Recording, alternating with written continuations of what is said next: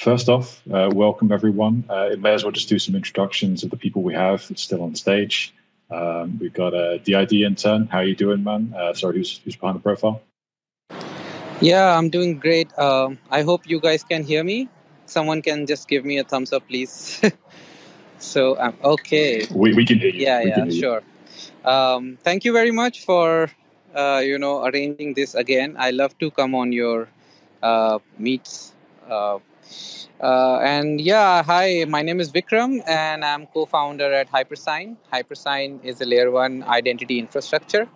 Um, uh, now we are in a state when we have the ID infrastructure sorted, and we are reaching to for the final testnet, and we have started uh, looking at two different, uh, you know, approaches for go-to-market. The first one in Web3 space, we are looking at uh, regulated uh, DeFi uh, side. And in the Web2 side, uh, we recently had some partnerships with you know identity management companies. So so yeah, looking forward to you know launching the app chain very soon. Thank you. 100% Vikram. It's really good to have you on. I think we've had you on a couple of times before. Vikram from Hypersign, uh, the, the, the protocol's amazing. Vikram's absolutely amazing as a guest. He's always got some amazing takes for us. So thank you, Vikram. Uh, we've also got Pyman, uh, Pyman from Fairblock. Uh, how are you doing today? Hey, hey, how are you? Can you hear me? Or uh, is it working? I can hear you just fine. Yeah. Awesome. Thank you. Yeah, uh, I'm really happy to be here with all of the privacy flows. Uh, so my name is Payman. I'm uh, one of the co-founders of Fairblock. Uh, in Fairblock, we are working on uh, enabling applications and like other protocols with pre-execution privacy and conditional encryption. Uh, other than the buzzwords, it actually means that like we can enable some of the applications that are limited so far in the for the decentralized like infrastructures, and uh, we can make the UX and experience better for the like normal DeFi users. So we, we are trying to protect the users' uh, transactions and the contents of their messages uh, from like malicious bots, or simply we are trying to like enable some kind of applications like uh, sealed-bid auctions, private governance for Cosmos chains, or even on the gaming side there's like some applications like poker or like a lot of like betting applications that you actually need to uh, keep your votes or your hand private during the execution of the transactions. So yeah happy to be here um, and mm, yeah with like all of the big guys in the privacy space in cosmos. Absolutely amazing man. Absolutely amazing. It's really good to have another another uh, another protocol up here. We're trying to get rid of the bots uh, and trying to uh, increase Sybil resistance, trying to get uh, real human beings uh, interacting and transacting. Uh, it's a very, very noble goal. okay, everyone. Um, so, um, Hoss, I don't know, have we, have we lost Secret or, or, do we have anyone else on stage? I just want to make sure that I'm not missing anyone because my clearly Twitter is messing up today. It looks like we did lose guy from Secret actually. Let me see. Yeah. I just saw Patrick here. Um, oh. Yeah, Patrick. I just seen Alex actually. Yeah, I just invited Alex up as a speaker. Hopefully, we can get him back up. Alex, welcome to the stage. Uh, apologies for the technical issues. Uh, welcome. How are you doing? Hey guys, uh, doing uh, doing great personally. I'm calling out of Israel, so you know, as a, as a country, not doing really great right now, but we'll leave that aside.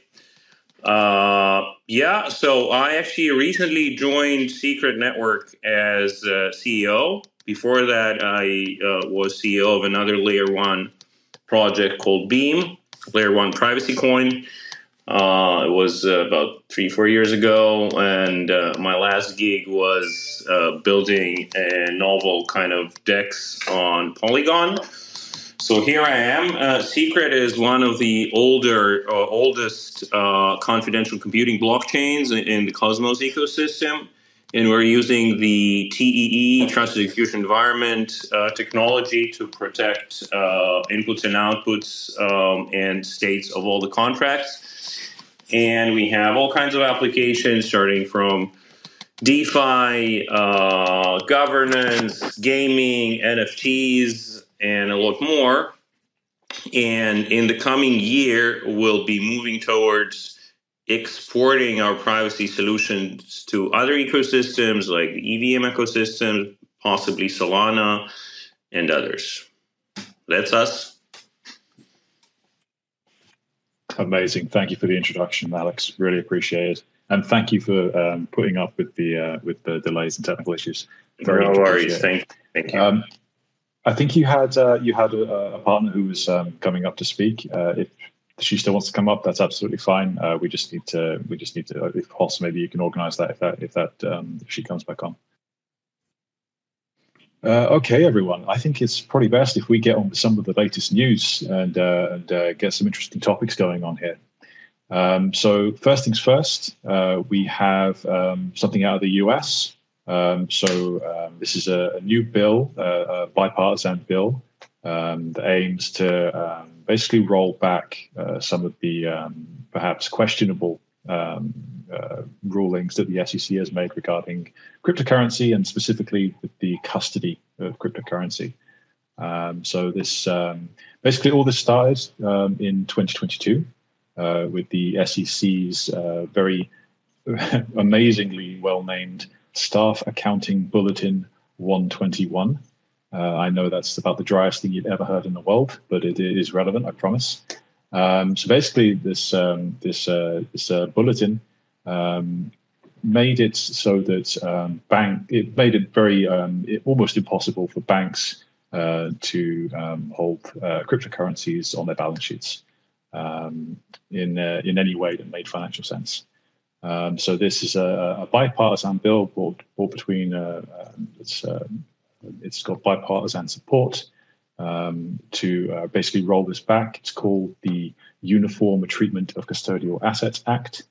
Um, and it, it, basically aims to um, bring parity between um, conventional assets like stocks uh, and uh, and cryptocurrencies for the for the purposes of, uh, of banks actually holding these things and not treating them differently from a regulatory standpoint. Uh, so making it in, in, simple, in simple terms, making it actually possible uh, um, in, a, in, in, a, financial sense for banks to actually hold these things. So the SEC basically cites um, potential hacks uh, and security issues as the reason behind their unique guidance for crypto right now. So the question I'd kind of like to ask the panel is this: um, Is crypto, as it stands in 2023, too volatile, too insecure, or too dangerous to consumers for it to have a quality of standing with like any other assets um, uh, custody rules? Or is the SEC simply like needlessly chasing innovation away from America and its borders? Uh, so that's the question. Uh, I'd like to perhaps uh, throw it maybe to Alex first, since uh, you've been waiting. I would uh, I would love to get your take on whether whether that's the case. Um, sure, sure. Thank you. Uh, so it, it's an interesting question. Um, in general, I think they are overreacting by a long shot. Uh, today, you can get exposed to crypto in a variety of different ways, uh, which are maybe not crypto native. Uh, uh, but if, if, you're not, if people are not comfortable enough with self custody, um, there are tons of ways they can use, uh, buy, and trade crypto using custodial solutions like Coinbase or other exchanges, or uh, all the you know solutions like Crypto.com and others. So, uh, and those in general, um, some of them are properly leg- regulated and audited. So, I don't think they are any more dangerous than you know existing uh, financial institutions. Now that said, we must all agree that self custody, if not done properly, still poses certain risks. Right, but but I think this is more up to the crypto community to explain and promote and find solutions. And I strongly believe that account abstraction wallets that will be coming and are already coming out, but will be a big topic for the coming year, uh, will be solving a lot of those issues and removing all this uh, self custody risk. So, a short answer is uh, they are overreacting, and crypto is not dangerous per se, but with a caveat that self custody uh, requires a certain level of understanding and discipline from the consumer. I, I would tend to agree. I mean, that's uh, it's it's really on the educational side, as you alluded to there. Like, uh, there's just not enough information about crypto, and certainly not enough reliable, easy to access information about crypto uh, for people to uh, for people to make a, a proper choice and uh, and uh, use these services properly. And yeah, I, account abstraction, absolutely massive topic. Uh, Vikram, uh, you you opened up your mic. Please, same question, or if you have any comments. No, actually, you reflected my points. Uh, even if I look at from a third world country, uh, all these countries in uh, Asia and Africa, people, because I have experience working with in these communities, I, I the point that you said, right? The education needs to be there Uh, but on the other hand i do i do see some other problems like let's say there is no regulation in crypto then uh, founders uh, rugging the project this is a valid problem you know. Uh, and I, whenever i speak i very i talk very straightforward. So so how do we stop founders from just rug pulling a project? And this sort of rug pulling doesn't happen in in case of at least uh, regulated uh, like share market. There is you know it, it goes through a lot of other processes. So so there are like very uh, i don't agree completely that uh, there shouldn't be any regulation but yeah uh, but all the points that you know alex said about uh, uh, sec making it over complicated than it is actually that is true. And second like you just uh, you know reflected not enough proper education is being done. Yeah so you know that was my yeah same as so I, I, I, would I would tend to agree again, Vikram. Um, but you, you you bring up a point that um, I, have got near and dear to my heart. To be honest, um, is that um, democratized access, the kind of democratized access that um, that crypto provides uh, for people to um, like uh, create to create a public financial venture. it opens up the possibility of lower quality entrants. So you end up with like the the kind of rug pulls that you're talking about, you know, because you've got an open permissionless system, anyone can access it, and there are a bunch of like uh, financial incentives that are not all aligned with uh, with what everyone uh, with what everyone wants in the space. Um, so you know, it's it's kind of a melting pot and uh, and a bit of a powder keg, to be honest, uh, for um, for potential um, uh, rug pulls, and that's that's really where the regulate uh, the regulation part needs to come into play, I guess. Um, Pyman, uh, how are you doing? And um, and uh, uh, I guess same question, or if you have any uh, any any points of uh, comment. With. Yeah, I completely agree with the technical points, but I just want to like give an, a non-technical answer. I really think that we should be we should have been like even surprised if we didn't see this kind of pushback from the governments because it's a good sign. Like it happens to all of the revolutionary technologies in the history. Uh, whenever we see like th- things like internet, like even like cars, I don't know, trains or everything, even Uber, right? When you invent them, there's obviously a lot of ways that they can go wrong. Uh, even like AI and SEC or other regula- regulatories uh, for good or bad reasons, they will ob- obviously take a deep look to them. Uh, there's always like fraudsters, there's always misunderstanding from the regulatory side. Uh, but these are the things that uh, can be solved with the condition that we are actually building something that matters, uh, something like the good infrastructure. So, like the, in the early internet days, there's a lot of, I don't know, child pornography, a lot of bad stuff that it was happening uh, with a good leg- regulatory, like they control it. Uh, with cars, uh, a lot of people are being died still in the streets. It doesn't mean that we should get rid of the whole technology, right? Um, I think like crypto, black the blockchain and decentralized technology is like the next big thing as like it's a continuation of like connecting worlds with like building more infrastructure for for like better DeFi and like social uh, infrastructure, and this is simply because of the fact that we are in the really really early days of seeing this revolution, and this is completely natural to see some kind of pushback from like responsible parties in the governments or uh, simply those who are afraid of losing their like power hubs. Absolutely, yeah. Innovation and disruption uh, it just it just leads to it leads to an awful lot of things, both good and bad, and we can we end up with we, we end up with some of these situations. Um, it actually kind of leads into um, the the um, the next um, the next topic that I wanted to bring up, really, um, and that's um, uh, you probably all more than well aware of Sam Altman. He's uh, CEO at uh, OpenAI, and uh, he created WorldCoin. Um, basically, he did a um, he did a, a, podcast with Joe Rogan, like uh, maybe a few days ago, I think even. Um, and he's you know basically he's just saying that the, the the US and various other jurisdictions are waging war on crypto right now. Uh, there's a whole like uh, um, uh, like socioeconomic and um, and uh, and uh, just a, just a, just just this global set of incentives from governments that are trying that are causing them to um, to fight back against what they see as something um, that will um, either compete with or um, or even maybe outcompete uh, traditional uh, tra- traditional financial structures.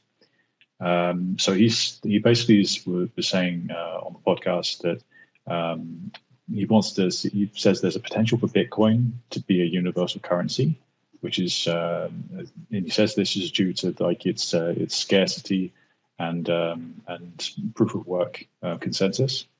Um, I'm not 100% convinced on that myself, but uh, that's one of the things he said. Um, so um, he also said uh, that despite like the collapse of FTX and various other crypto firms over the last year or two, he still believes uh, in uh, in regulation, but says that excessive regulation doesn't always guarantee safety. It's fair enough, I think. Um, and he also uh, expressed um, concerns about uh, the growth of the surveillance state um, in digital payments, um, where transaction flows can be watched. Uh, I guess, especially with Bitcoin being uh, being an open, um, permissionless network.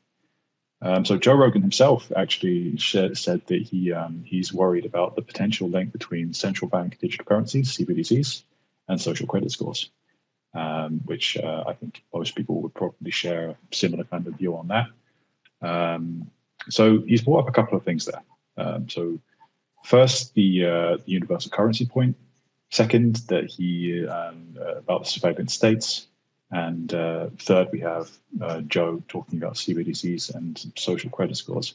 So I guess my question to you guys on this one um, would be: Where do you see um, um, where do you see the, the, the level of privacy required for people to transact, um, maintain their rights, um, and uh, and uh, basically transact in a way that doesn't um, that doesn't uh,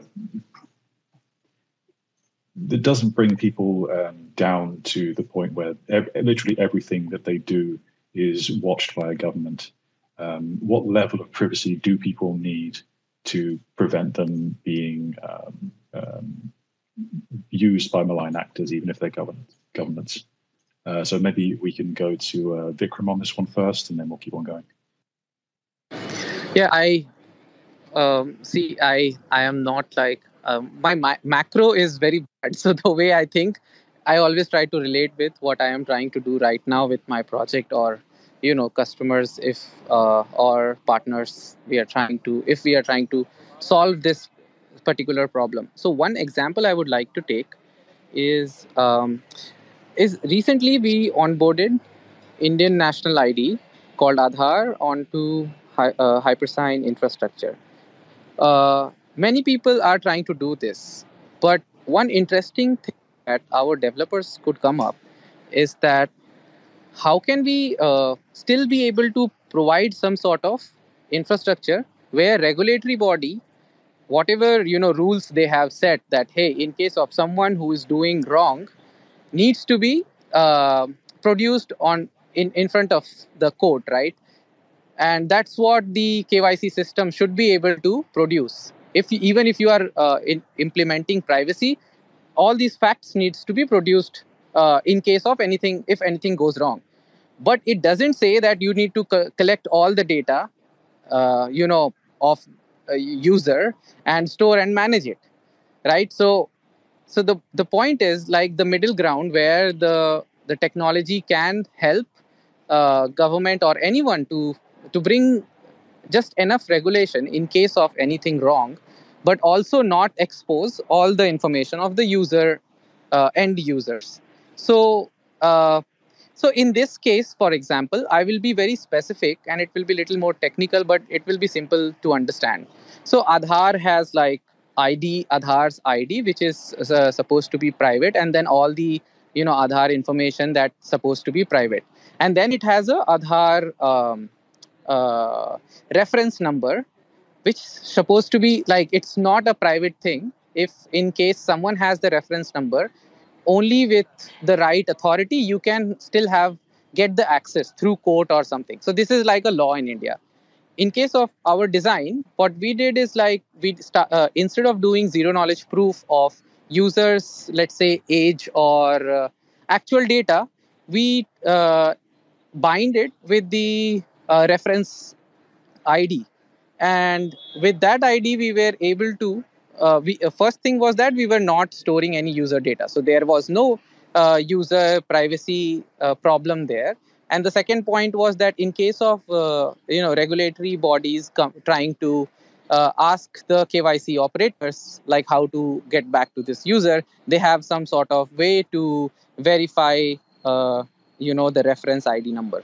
So sorry for this like long answer the point is that it needs to be thought through how we can work together while making sure that we are not exposing too much of users uh, personal information did i make sense to you guys Yeah, you, you did, Vikram. You did. Because actually, india um, the point is indian government are like so strict that they don't allow anything uh, related with privacy. When whenever it has to be law then it has to be law. Like everybody needs to be follow but on the other hand they are imposing privacy laws where they are saying that hey if you are storing and managing this data uh, and if anything happens with that data you need to pay 30 million dollar fine. So now the businesses are confused. What to do? One law says that you need to collect data other law says that you if you are collecting data then you have to uh, protect it. And expense of protection is you know keeping it safe is very high.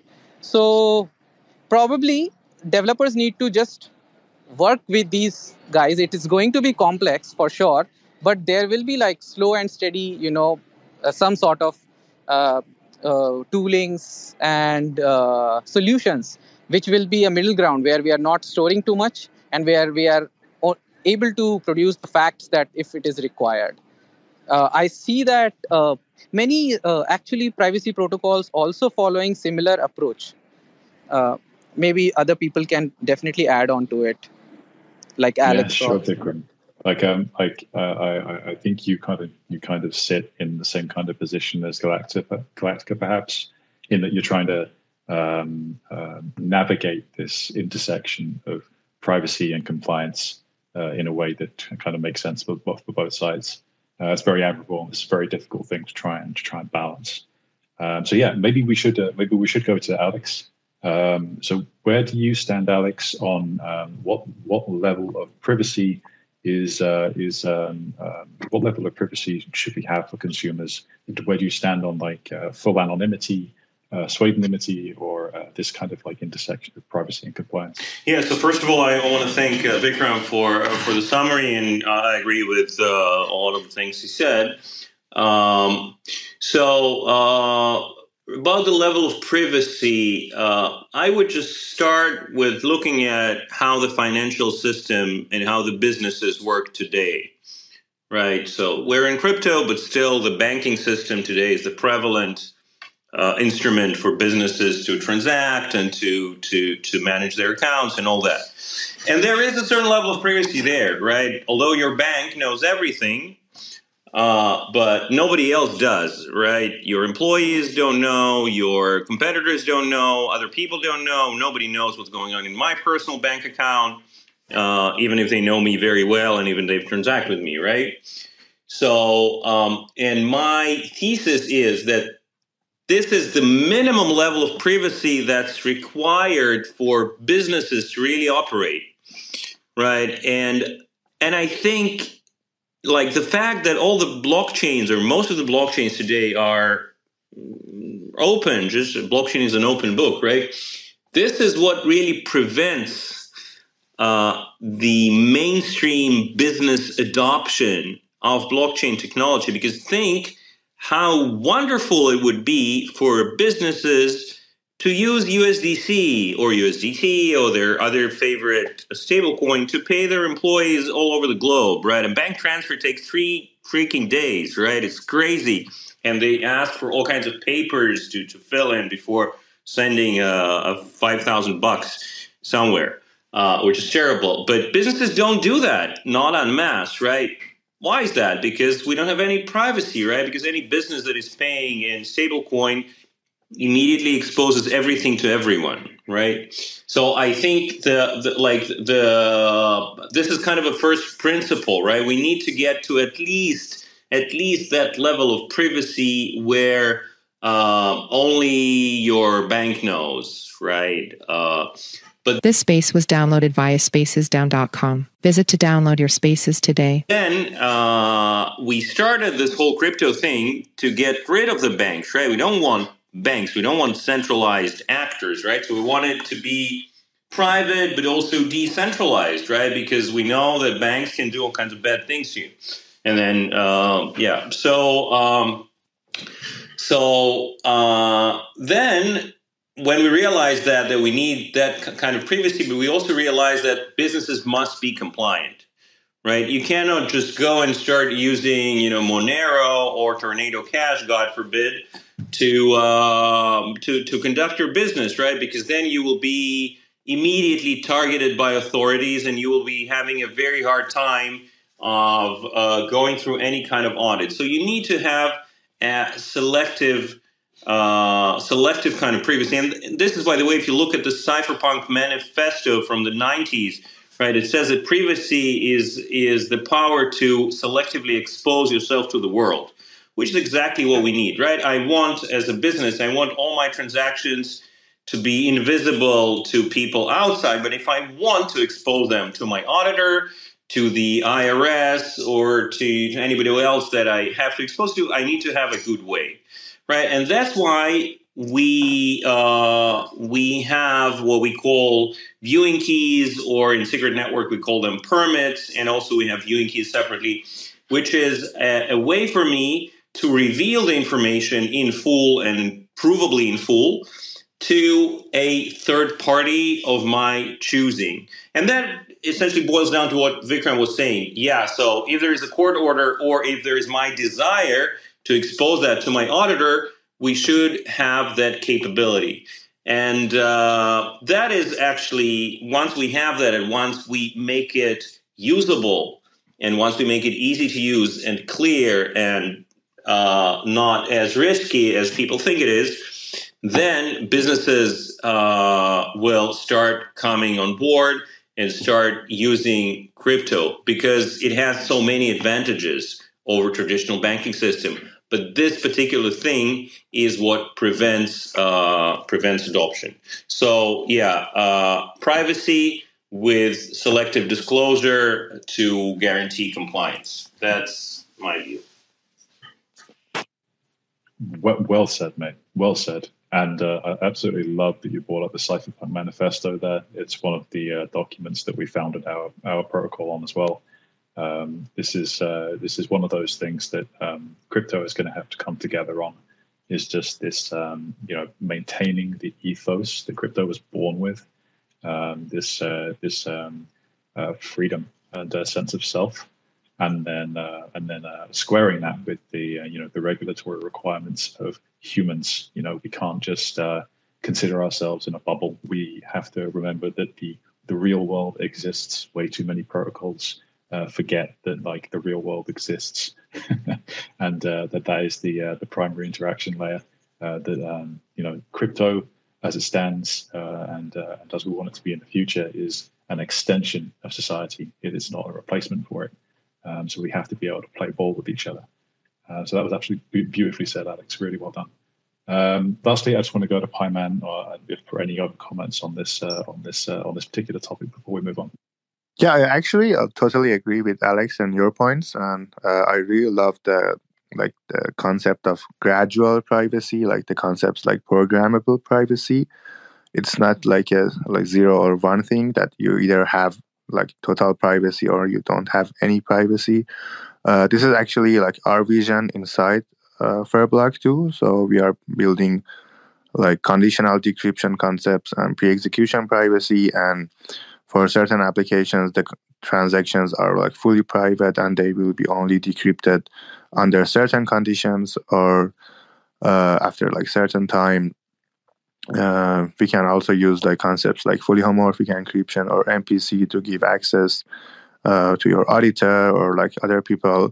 Uh, i think we should play with these concepts to find the like the like optimal point of privacy and applications and regulations uh, going toward the both ex- extremes on both sides are not uh, really realistic. I couldn't agree more. Couldn't agree more. Uh, that was, I actually really enjoy talking about that topic. I'd actually like to go more on that, but I have um, I have a lot. I have some more that I want to speak with you guys about. I want to pick your brains. Um, first, though, I just want to reset the space a little, guys. Uh, I really appreciate everyone who is listening right now and who, uh, especially the ones who put up with the uh, the technical issues to begin with. Uh, I really appreciate you guys. Uh, if I could ask you for a favor, if you could uh, just uh, drop down to the comment section below, give us a like and a retweet on the space. It would really help us uh, get the space out for more live people, and more importantly, even possibly getting more people onto the recording so they can have have all this valuable education. it's it's one of the things that we've been getting a lot of success with lately. Is people listening to the recordings. I think more people are listening to the recordings now than are listening to it live, which is a really nice milestone for us.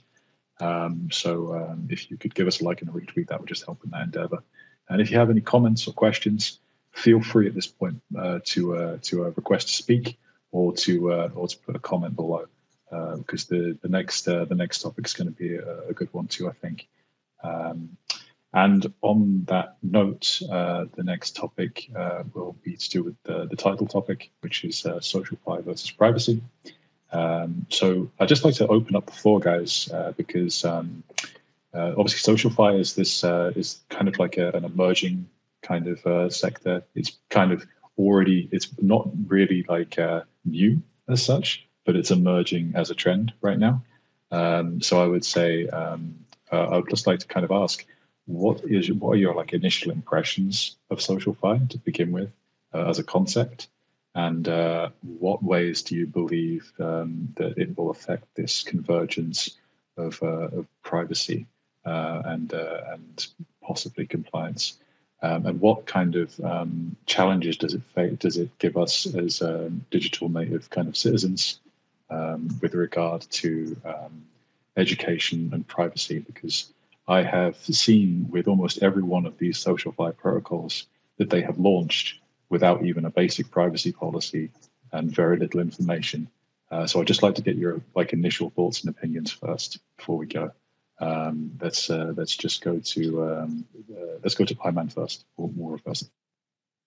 Sorry, I didn't catch the exact question. Is there?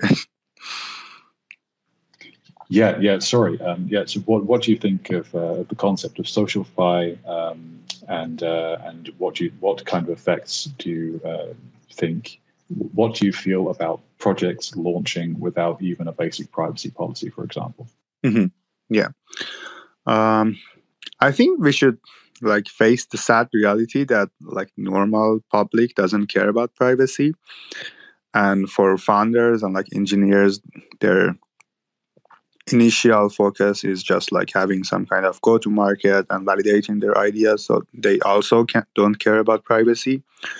So like historically in like web 2 companies the only way that you can actually inject privacy is um, yeah, by like just regulations and like pushing companies like Facebook by just finding them and like a lot of social pressure to add privacy layer and go under all of the technical trade-offs like differential privacy stuff.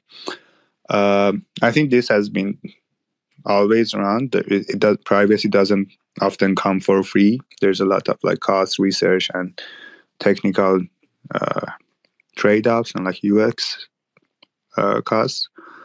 Uh, yeah, this is like certainly a challenge, and um, I think a lot of like public people that don't really care about privacy unless they're educated about the potential harms and uh, yeah, like why they should care. Like I don't the classic debate of like I've not I've got nothing to hide, uh, like notion. But in crypto specifically, I think it's a, like really some like a specific area that sometimes privacy and having like encryption actually like saves you money in some cases and you can have the privacy like by default hopefully we can like provide a seamless experience because like the block times are even like higher than like real uh, time interaction so I really don't think that like we should go toward a path that users should choose between privacy or not having privacy.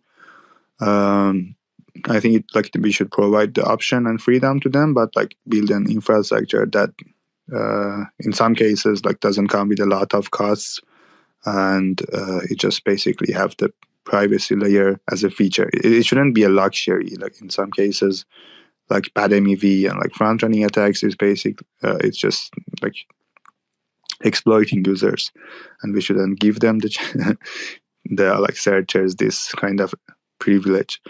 Uh, in some cases, it's a like design choice, and which can which doesn't come with a lot of like trade-offs. I think it's quite unique in the in the crypto space compared to other industries.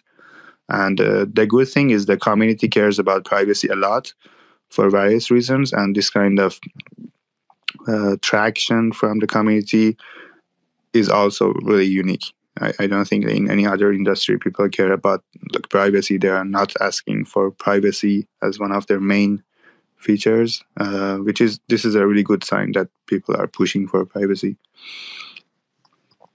Yeah, I would tend to I would tend to agree with that. And I think you're right in that crypto is a very unique case um, it's um, it's it's it's born of the fact, I guess, that we are on uh, an open and permissionless network, uh, and so like uh, the concept of privacy just comes up more often. I guess uh, it's it's more of a more of a, an important talking point.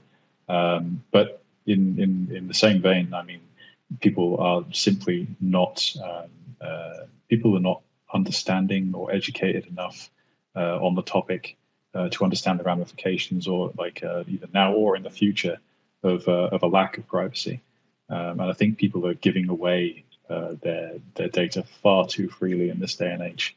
Um, uh, and so, like, I, I, really I do appreciate uh, a lot of the protocols and uh, people we have up on the stage today uh, are working towards a more um, privacy by more of a default. Cosmos Hoss, please make have your hand up. Yeah, I just want to do like an overall, like I've just been kind of enjoying the conversation to be honest with you, and just listening in and not having to speak, but just to kind of chime in on like an overall view of everything. So there's a few points. One, obviously, um, businesses, but not even businesses, huge money will not get into this space and transact and do things on blockchain because it is an open book, you know. And like I always visualize a blockchain is nothing more than a decentralized accounting ledger that's transparent and all you know like the numbers add up. It's just a perfect equation. And that's kind of why i got into this one of the one of many reasons why i got into crypto in the first place. From my accounting background it just makes sense. And then like philo- and then philosophically and communitarian and everything else kind of like shifted me over towards the cosmos. And then more in particular shout out to the secret network is like i'm a real big privacy advocate because of I kind of grew up in the old world and now in the new world. You know, I, I wasn't an iPad baby or anything. Like technology was still pretty shit when I was in high school, and you know, but I've always loved technology. But the, the bottom line and the reality of it is is that you have to have privacy solutions and layers in, in the in this new, you know, I want to call it the new internet or Web three or whatever you want to call it, because it just does it won't make any sense. It won't be usable and mass, you know, like it won't get mass adopted. And you can use the business aspects and everything else too, but people aren't going to be trading uh, derivatives and everything else if it's just like open for everyone to, to see it and it, it, there needs to be that layer of privacy. It's just it's actually kind of dangerous well not even kind of it's very dangerous and, and i don't want to say that people don't care about privacy i think that's a misnotion i think maybe the younger generation has kind of just been um, surrounded with this whole like everything's out in the open but you know i deal with a lot of people on the latter side of, of life that are you know elders and everything and uh, with my job and and i try to get them to use the computer to do a few things and, and they refuse and they're just like everyone knows everything about you on the computer and they still care about privacy you know and um, and that's just not even them and you know the money will filter into this this uh, i think the question earlier you asked do you do you see it as like a legitimate uh, i guess market? Yes crypto is going nowhere. I, I, don't mean that in a bad way. I mean i mean that in a good way. When you see like jp morgans and larry fink from blackrock just really wanting a piece of the action then it's just a matter of time because really they're they're the ones on the top calling all the shots essentially for the whole entire world. I mean uh, BlackRock has more wealth than I think every nation except for maybe America and maybe UK or somewhere. But other than that, they have more money on their management than nations do. You know, like the entire world. So it's like they're going to get what they want. That's just the way life works.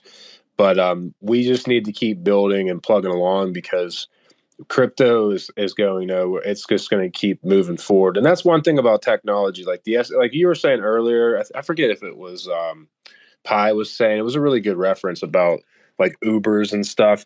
You know, in America, there used to be the way the main transportation was with you know horses, and then it was the buggies, and then it, it was uh, then it was jitneys, and then it was cat. You know, like it was just like all, like the the you know you can go all the way through the timeline, and and every single time that there was always transition or change, people are always scared of change and they always put up a fight. You know, when I was a kid, when I was a kid, well, guess what? You're not a kid anymore. And everything evolves. That's just how humanity is.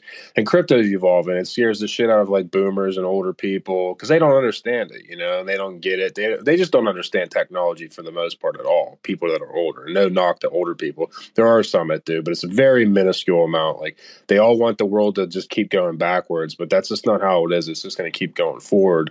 And crypto is going to be a big solution of it. Now, is Bitcoin the the universal money? I don't know about that, but I do think it'll always be around because people know how much there is of it. You know, the supply, and people know that that's it's pretty much a good spot to keep your your wealth and and your you know energy. Let's just call it energy, and um, you can't get diluted because one of the things with money is it's really for the most parts is a symbolization of time because you have to you know concern so much energy and time to make whatever you get. And then when the, these governments keep printing more of it they're essentially stealing your time they're diluting your wealth they're doing all of that. But as at least with bitcoin you know you have this hard asset that you can conserve and put your energy and your time into it and you know they can't really necessarily like print more bitcoin. So like i think that'll always be around. I don't know about the universal um, I think it could replace gold as and get up to gold's uh, market cap, which is like in the you know 10x from now or how much it is for, from this point. But uh, that's kind of my rant. I just want people to stay positive. I know the market conditions in the world, and sorry to hear what you're going through, Alex, over in Israel, and it's a shame. You know what's going on, and um, you know I hope everything's good over there and with your family and everyone else. And you know I just think um, you know we're we're here to stay um, if crypto doesn't work, then I honestly firmly believe this is the last vestige and, and thing that can like kind of save humanity or make it a lot better than what it is now. Because it's really, as you see what's going on in the world, it's really going to, to, to shits, no pun intended. And um, there needs to be a reset. And you know I think all the boomers pretty much control pretty much all the wealth on planet Earth. And, you know, one thing about humans, we all pass away. So they're going to pass away and then they're going to hand it down to younger people. And it's a fact that younger people, their their life is is technology and, and uh, crypto and everything else. And it's just going to happen whether they want it to happen or not. It, it's just evolution. So I don't know if it happens as fast as we would like it. I don't know. I can't predict that. But I do firmly believe that 20 years from now, 30 years from now, uh, crypto is going to be a huge solution to like everything, in my opinion. But that's my little take on everything. If I may add, uh, that was really beautiful. Uh, I, I didn't say that people don't care about privacy just because like they I know they care like a lot of people care about privacy but right now they simply like having their friends and their family on facebook more than their individual privacy the con- that cost the individual cost for them to have privacy is much more than they tolerate. So i think the good point about crypto is that we can build applications that has like some kind of privacy built inside it uh, which comes with like much less uh, like individual costs for interacting with them uh, which is like quite good compared to like I don't know just uh, by building your social media on on Facebook and sharing it with pretty much everyone. Yeah, that's actually a, a really interesting point. Um, so, um, like, there's, um, I don't know, there's, there's, there's a, there, I, from what um, Hoss was saying as well, I, I, think, I think you're right. There is a, there is some kind of like generational gap in, um, in the willingness, um, uh, and uh, like this, this will and, uh, and uh, and the will leading to implementation of um, of actually wanting uh, a certain minimum level of privacy. Um, uh, but like, I think that we've also kind of, um, especially the the younger generations, have gotten addicted to convenience, um, and like to the point where you know we're we're arguing right now about like um, um, whether blockchain is uh, uh, is a replacement for like the banking system, for example. Um, but um, you know, is there and be a lot of people uh, proponents of banking? So, uh, a lot of people, a lot of people who would argue against blockchain say that it's, uh, for instance, doesn't scale and it's too slow. Um, but then you realize that you know, as uh, as I think it was Alex said, um, like banking banking bank transactions take days. They take days and uh, and people that just like people require seem to require this level of um, like centralized speed that can only be achieved through centralization. Like for instance, on uh, on I, am not maligning the project at all, but things like Solana, stuff like that, that can go like uh, microsecond speeds, but um, there are there are severe um, drawbacks to it in regards to centralization. Uh, sorry, Alex, uh, you just took your um, uh, mic off. I'd love to hear your opinion. Yeah, so uh, this was a great conversation. I think it went to some very philosophical and, and very high areas. Um, I want to like I want to come back for, for a second to SocialFi, right, which we started with, um, and be a little bit contrarian here.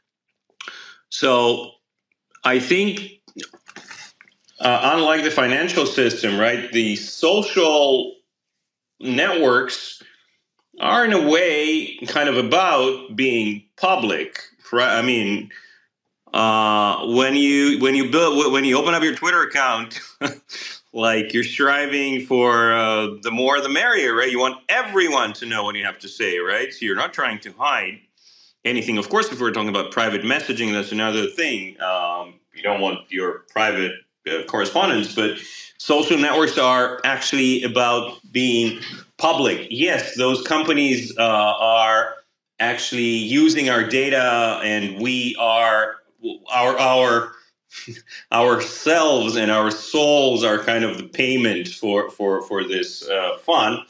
Uh, but I think kind of social networks is sort of an antithesis to privacy. So so people are not looking for privacy there.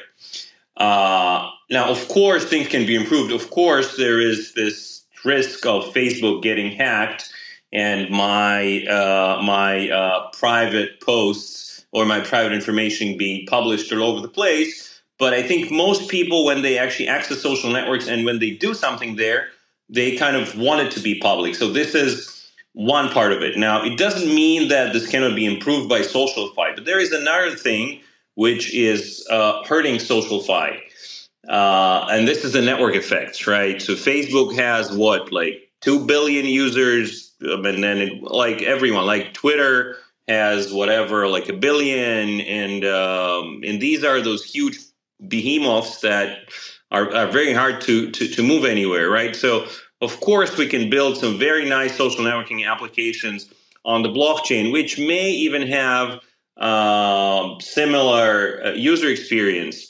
But bringing people onto those places will will be hard, right? So maybe if this beautiful platform we are we are we are we are talking on right now, maybe if it fails miserably and, and closes down, then maybe there will be an opportunity for a Web3 project to take, it, take its place. But I think uh, the value prop, the value proposition of blockchain for social is, at least for now, at least for, for, for my knowledge, it's not strong enough versus Web 2, right? So I uh, am a little skeptical about, you know, SocialFi uh, overtaking the, the Web 2 social networks.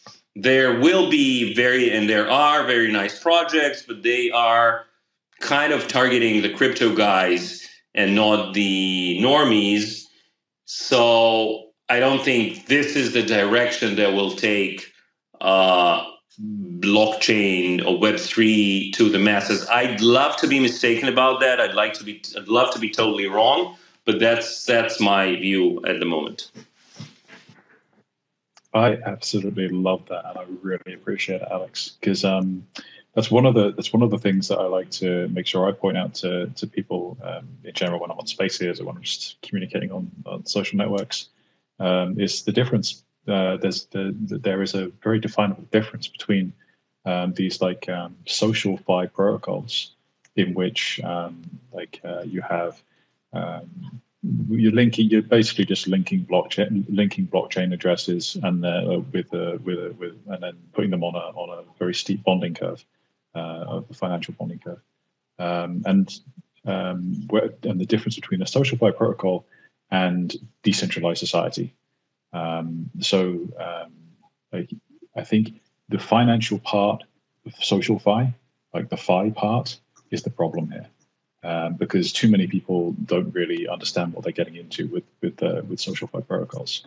You you sign up, you use your you know you in general these things work by um, by um, linking your like a, like another social account, like a Web two social account, like Twitter or whatever it is, um, and then they uh, and then they do like the blockchain stuff on the back end, uh, which is uh, like the they put you on a bonding curve, and then they um, they give you like uh, fees. They, they give you a portion of the fees. They they promise you an airdrop, whatever the hell it is. They just put a bunch of financial incentives um, in there um, for you to uh, for you to take part in and uh, take advantage of. Uh, whereas decentralized society is almost the antithesis of that. It's um, the decentralized society is, for, for, reference, something that Galactica Network is aiming to um, provide a foundation for, um, and it requires essentially that you have the ability like uh, the optional ability to um, remove the financial incentives from the social interactions. Um, because otherwise, the financial incentives, almost without uh, without question or doubt, they will overcome the any any social um, any social benefit or incentive that might be there. Uh, and you know, human human, beings, we we operate on uh, on greed and what's best for us in most situations, uh, at least on a personal level. Um, and uh, and yeah, so decentralized society as a concept is a very different thing to SocialFi. Uh, and I think blockchain as a, as, a, as a platform is, in fact, the only way that we can have any form of um, uh, society in a digital sense, let alone a decentralized sense, in a digital sense. And I say that because um, mostly because of the inevitable tide of artificial intelligence and quantum computing that's just around the corner. So we've seen what kind of uh, what kind of power even the simple generative models that we have now can do um, regarding um, like uh, pretending to be uh, vaguely human, um, where you, you, know, you, can only imagine the, the level of complexity an artificial identity will have 10 years from now, for example. After you know the first round of quantum computing, we have like quantum state powered um, art, um, artificial identity. It's going to be um, not only indistinguishable from a human, but probably superior to it, at least uh, in like the digital sense, without a physical presence. Um, so I think blockchain is the salvation for um, humanity as far as um, actually being able, because it is our best digital solution for proving things. And one of the things you can prove uh, is humanity. You know, you have to be able to verify yourself as a human being in the coming decade, or you'll probably get lost to the you know this artificial tide. Um, and now I'll, I'll, you know actually I think I'll just throw it out to the uh, to the panel because I've spoken for a bit. Um, so if you have any comments on on anything I've said, please do. Uh, and uh, we'll probably start to wind down after this particular topic because I realise we've been going uh, longer than I thought I had. I was just going to add to your like the SocialFi thing. I I never really got into it, but how like about a week ago, I was maybe maybe about a week ago, I tried a couple of them out. The one was like on AVAX. It was actually not that bad. It was called like Stars Arena, but then it got hacked and like the contract was no good. It wasn't bad. And then there was another one that I started to like look into, but then I totally was like, nope. It was on Solana. It was actually really cool looking. The the thing that drew me away from it was um, I think it was called like Hub 3. But anyways, you can zoom like every single user that signs up and deposits like SOL or whatever, you can click on it and see exactly where they're located at on the planet. And not only that, like you can zoom in and it pretty much goes all the way to like the street. It's like, no, this is kind of weird. Like, why would someone, I don't know. That's just me. I'm a really big privacy person. Like, I joke about this and people probably heard me say this. But you know, I say hi to my neighbors and things. I, I live where I don't really have like close neighbors like right next to me or anything because I couldn't live like that. You know, shout out to people that do. I, I just can't do that. But anyways, even if I did, you know, I'll be respectful. Hi, how are you doing? But I don't get in people's businesses. Like I just don't care what people do, you know, and and that's kind of like I guess to Pi's point is there there's a lot of people that just don't care. Like they want they want to go on these SocialFis. And to Alex's point too, like I think I kind of agree with him with it because um, I, I, think when it comes to, to Twitter, that um, the X, whatever you want to call it, I think Elon's kind of doing a good mixture of both. And um, but yeah, these SocialFis, some of them they're not bad for me just looking into them, but yeah, it's going to take a lot, and you need it to be really good. And not only that, I think these app stores aren't going to allow them to have their own app and be mobile. They're going to have to kind of use their their mobile phone and connect in like through the back way of, of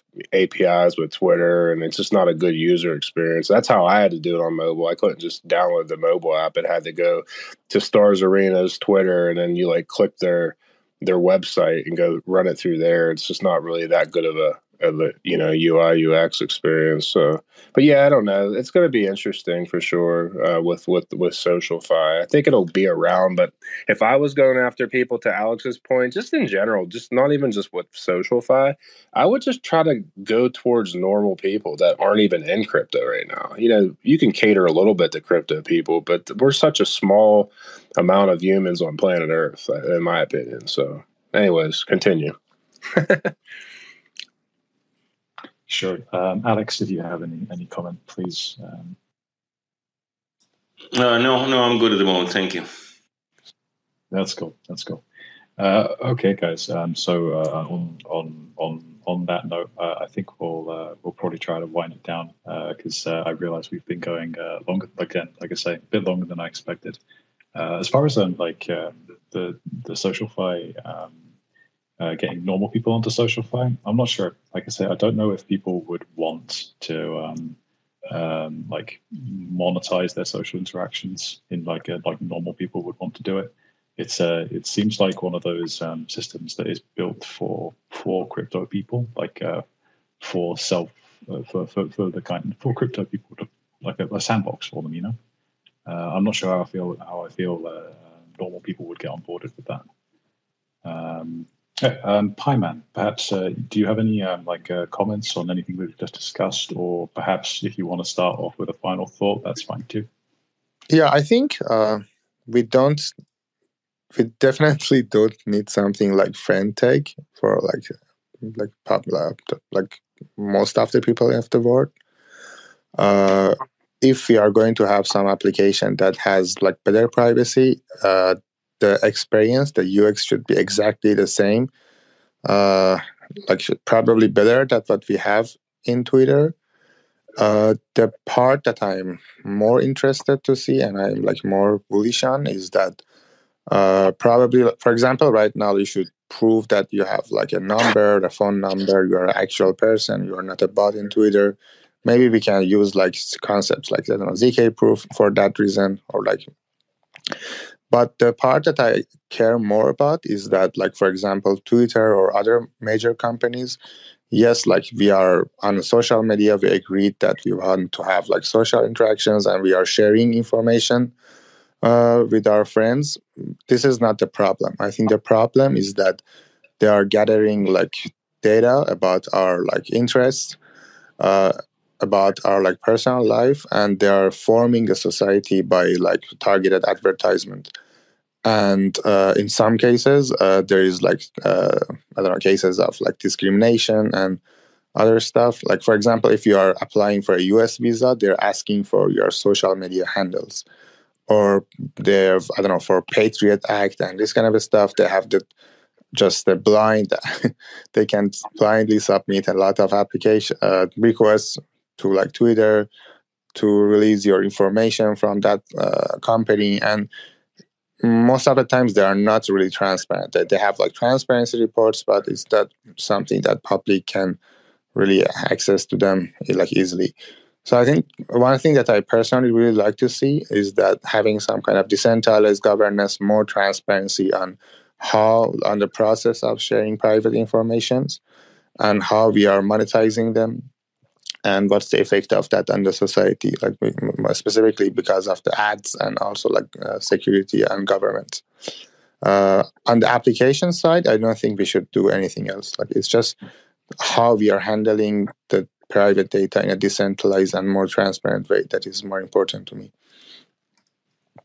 100% pi yeah yeah. I mean that's uh, that's massively important. I think that's one of the one of the um, one of the uh, primary concepts that we're going for at galactica as well is um, is the self-sovereign control of your data you know um, that's why why we use zk proofs uh, again same kind of way that you've been describing in that you know you can transact with your proofs rather than with your data it's far far safer far more secure and it's uh, uh, obviously that it maintains that level of privacy that you want.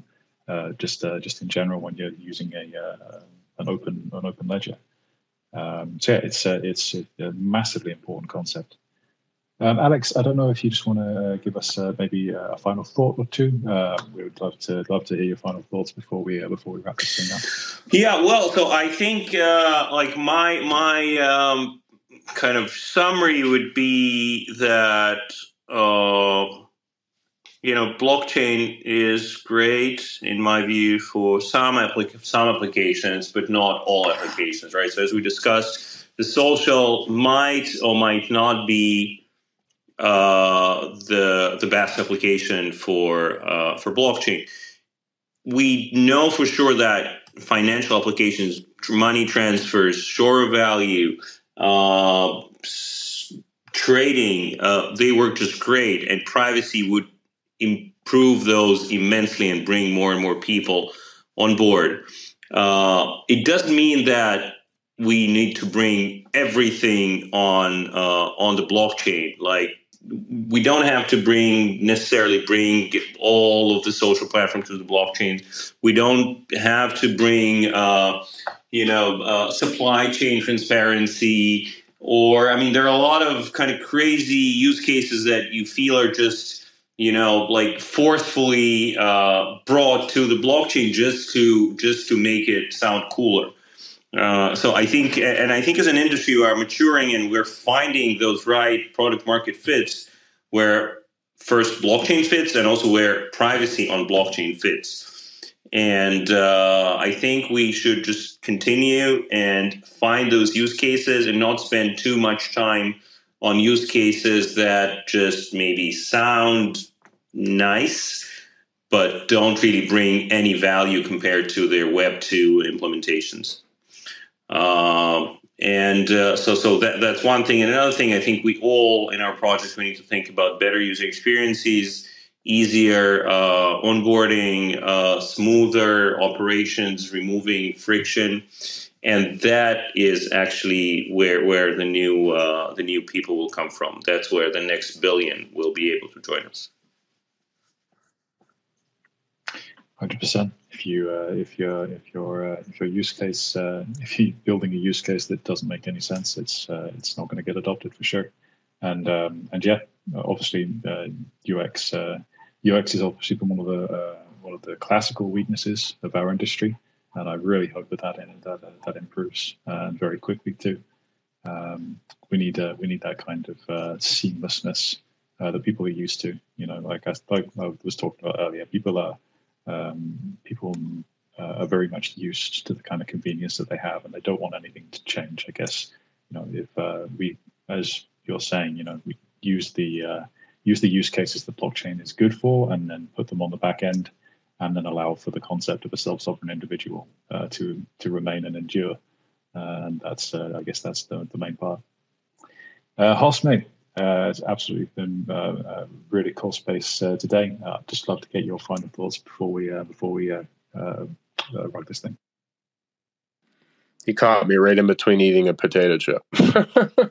well, then don't be eating potato chips while you're on the space. Actually, it wasn't doing? even a potato chip; it was a tortilla chip. But no, I was just eating dinner. So, but no, it was a really good conversation in general. I I pretty much agree with everything that everyone said. Um, yeah, I mean, it's um, privacy is a huge aspect of everyone's life and i think that there needs to be a, a, a better balance than it was in web 2 because it really got out of hand and you know there's like horror stories about things.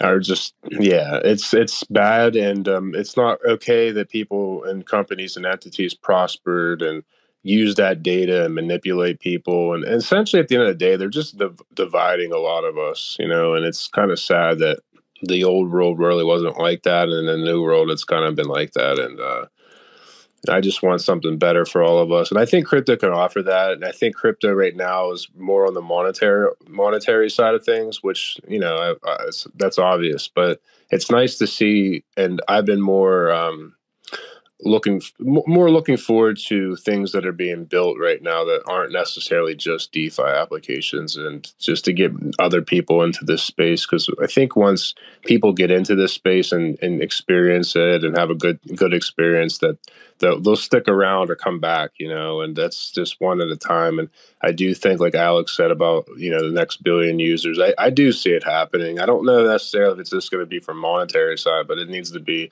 gaming, music, like decentralized society, and just like whatever whatever it is to to make people feel more safe and secure. And uh, yeah, man, it's just um, exciting times ahead. I'm honored to always be here. Shout out to everyone that listens, stayed in, listens to the recording. You know, keep doing your thing. Appreciate everyone. Listens to my reverberating voice at the beginning of the podcast. I'm going to be embarrassed about for days. Uh, yeah, um, I'd like to. Um, uh, just to maybe leave everyone with uh, a final thought from my side too.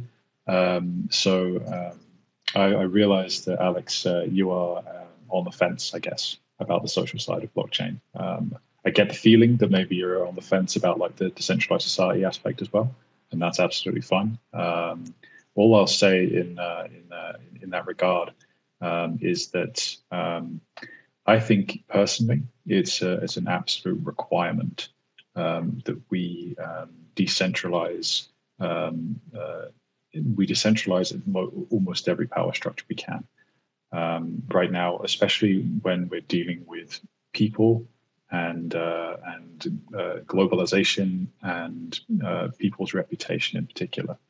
Um, because you know, right now, you if you have um, a digital social reputation kind of system, uh, and you have a centralized entity controlling it, um, that's that's power of everyone. For example, like um, the the Chinese implementation of, uh, of a social credit score, um, it's uh, that's that's the kind of thing that you um, you might end up with. Like right now, even it's kind of it's kind you can kind of argue that it's working, right? Um, because uh, the Chinese people are, in general just happy with the convenience it offers. The problem occurs when um, the Chinese government decides that you know it can suddenly has all these tools available to it in a critical situation uh, and it decides that it can control people. Um, so I believe that uh, like uh, these uh, these social these uh, social systems uh, and, reputational systems they do need to be decentralized, and um, and that's one of the one of the things that I'm very passionate about. And we will try and make it and try and very much prove that it is a, a viable use case as well. so yeah, um, thank you, thank you for your input and thank you for your points, Alex. Uh, it's been absolutely really, really, really valuable having you on the show. Uh, again, guys, I, I, really appreciate you uh, in the listener panel as well as on the speaker panel, uh, especially for the uh, for the uh, the hiccups at the beginning there. thank you for sticking around. It's been an absolutely amazing space with some great takes and some really good education. So if you could do us all a favor and give us a like and a retweet on the space as you leave the, as you leave the room, that would help a lot of people get to the recording and educate more people. and I'd really appreciate it. Uh, there will be another space. Uh, this will be a, a, regular space on a Thursday at the same time, uh, 8 o'clock UTC. Uh, um, so please join us on the next episode uh, of Into the Cypher State. thank you guys. I appreciate your time and I hope you guys have a wonderful Friday and an even better weekend. so thank you for joining us on this episode and we will see you next time. Thank you very much, everyone. Thank you. Take care, everyone. Thanks, everyone. It was amazing. Thank you. Pleasure to be here.